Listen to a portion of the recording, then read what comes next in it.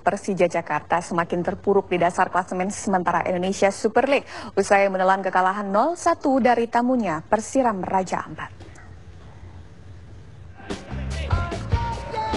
Dalam laga yang berlangsung di Stadion Utama Gelora Bung Karno, Persija dan Persiram lebih banyak mengandalkan umpan-umpan lambung mengingat hujan terus mengguyur sepanjang laga.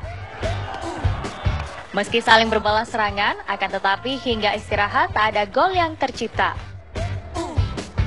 Di menit 68 Persiram akhirnya berhasil unggul.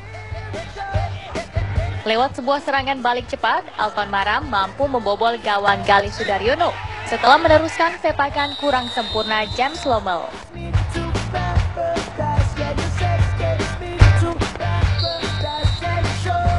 Sisa waktu yang ada, Persija terus berusaha untuk mengejar ketertinggalan. Namun tak ada lagi gol yang tercipta hingga wasit meniup peluit panjang tanda berakhirnya pertandingan.